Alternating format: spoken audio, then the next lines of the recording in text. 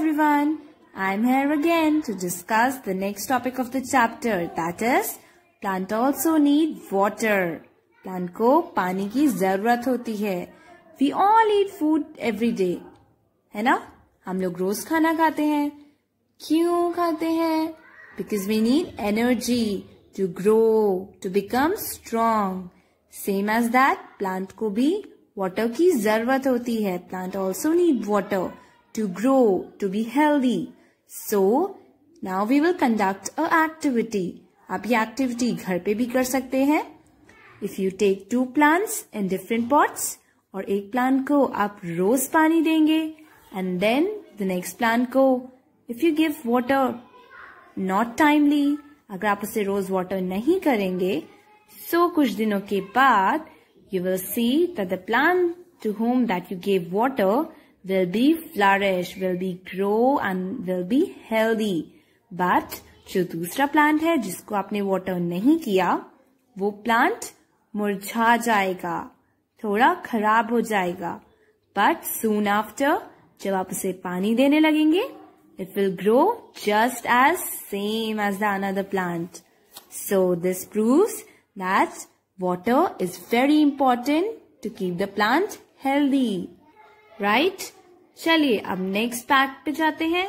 So now the next topic is some unusual plants अब हम लोग डेली लाइफ में नॉर्मल प्लांट्स देखते हैं that have normal leaves roots stem but there are some plants that are usually different from the others so अब इसका example लेते हैं। तो the first one is the cactus cactus is a plant that have leaves that are reduced to spines. So these plants have spines. Like आपको दिख रहा है यहाँ पे काटे काटे काटे काटे. So these are called spines. And these plants also contain chlorophyll. So the process of photosynthesis is taken place in the green stem of this plant. Okay. Now the next comes to croton. Croton is also a normal plant Actually it looks like a normal plant इसमें आपको green leaves दिखेंगी but you will also see the red leaves okay then they contain a red pigment which masks the green color and these leaves also prepare food as they contain chlorophyll. हमने last time पढ़ा था the process of making own food by the plants is known as photosynthesis. So these were the two examples of some unusual plants that are really different from the other plants. Now we have some questions for you. Can you answer me? In a cactus plant, photosynthesis take place in the green dash. The photosynthesis take place in the green stem. The second one is leaves in cactus plant are reduced to spines. आपने image में देखा था ना these plants contain spines so their leaves are reduced to spines in the starting of the chapter we all read that plants are living things and they make their own food right and animals and human beings are also living things but they cannot make their own food that is why they are dependent on plants directly or indirectly so, our next topic is also related with that. That is plants and animals are interdependent. मतलब plants और animals एक दूसरे पे dependent रहते हैं. So plants are interdependent on animals for carbon dioxide, right? And animals are dependent on plants for food as they cannot make their own food. So इसको हम थोड़ा और डिटेल में पढ़ेंगे. Like Animals give out carbon dioxide, we all know, during the breathing process and plants को carbon dioxide की जरूरत होती है to make their food by the process of photosynthesis. So हुए ना plants animals पे interdependent for carbon dioxide. Just like that, human beings are animals. As they cannot make their own food, they are dependent on plants. क्योंकि वो plant से ही अपना food लेते हैं। Like cow वो ग्रास को खाती है so it is dependent on plant right वैसे ही हम human beings vegetables and fruits खाते हैं and vegetables and fruits are also the part of the plant so we humans are also dependent on plants for food और second thing जब हमने photosynthesis की process पढ़ी थी वी रेड कि photosynthesis के रिज़ल्ट क्या होता है? First is sugar and the second one that plants give out is the oxygen so we human and animals also need oxygen by the plant so plants and animals are both interdependent on each other now is the next next topic of the chapter that is the food chain and the flow of energy अब देखते हैं ये food chain होती क्या है। अब इतनी देर से हम लोग फोटोसिंथेसिस की प्रोसेस को पढ़ रहे हैं।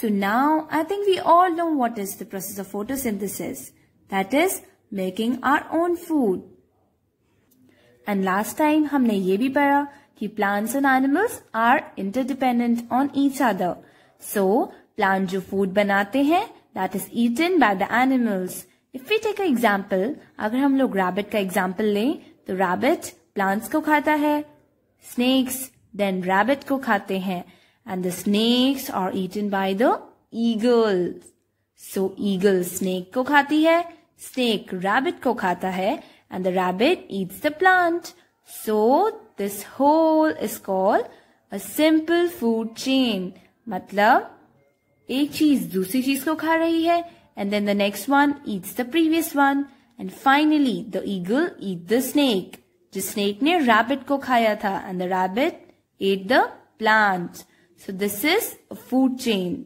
right and do you all know why this food chain is very important this food chain is important for the flow of energy because plant की energy is taken by the rabbit rabbit की energy is taken by the snake because snake rabbit को खाएगा तो उसकी energy भी snake पे आ जाएगी and then the snake is eaten by the eagle so snake की एनर्जी भी ईगल के पास आ जाएगी so food chain is important for the flow of energy now we have the checkpoint देखते हैं हमने अब तक क्या क्या पढ़ा the first question is plants give out carbon dioxide needed by animals तो आपको बताना है, क्या ये स्टेटमेंट ट्रू है? क्या plants carbon dioxide gives out करती है?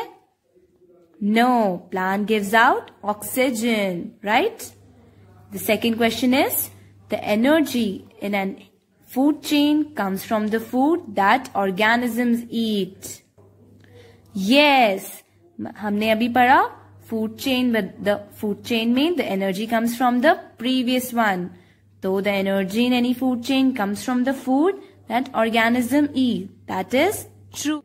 Now, the next point of the chapter is balance in nature. That means हमें अपने नेचर में अपने सराउंडिंग्स में बैलेंस क्यों और कैसे रखना चाहिए see to maintain the balance in the nature that means between the plants and the animals if the number of animal decreases drastically अगर एकदम से नंबर ऑफ़ प्लांट्स नेचर में कम हो जाएँगे तो एनिमल्स और ह्यूमन बींग्स को फ़ूड कैसे मिलेगा? वी हैव ऑलरेडी रेड कि animals and human beings are directly and indirectly dependent on plants so अगर प्लांट्स ही कम हो जाएँगे तो एनिमल्स और ह्यूमन बींग्स को फ़ूड कहाँ से मिलेगा? That means we need them Similarly, if the number of animal reduces drastically, the amount of CO2 given out will be not enough for the plant. मतलब अगर धीरे धीरे प्लांट्स और अदर ऑर्गेनिजम्स नेचर से कम होने लगे तो प्लांट को फोटोसिंथेसिस की प्रोसेस करने के लिए कार्बन डाइऑक्साइड नहीं मिलेगा, क्योंकि carbon dioxide is given out by human beings and animals तो जब प्लांट को कार्बन डाइऑक्साइड ही नहीं मिलेगा तो it can not prepare its own food so then there will be a imbalance of everything in the nature तो balance को रखने के लिए हम लोगों को एक नेचर में इंपॉर्टेंट चीज़ें रखनी पड़ती है। That is we need a balance in nature between the plants and the animals so that's it for the chapter आपका चैप्टर यहाँ पे एंड होता है। So thanks for watching the video